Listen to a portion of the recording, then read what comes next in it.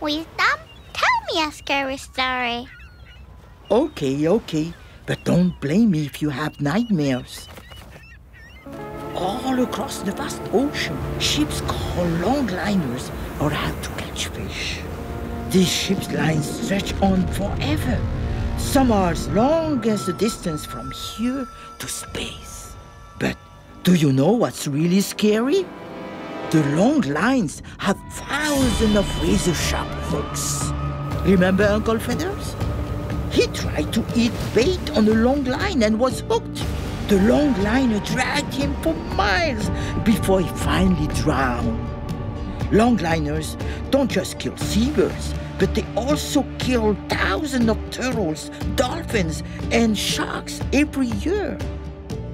That's why you kids must always stay in ocean sanctuaries. They're off limits to these industrial monsters.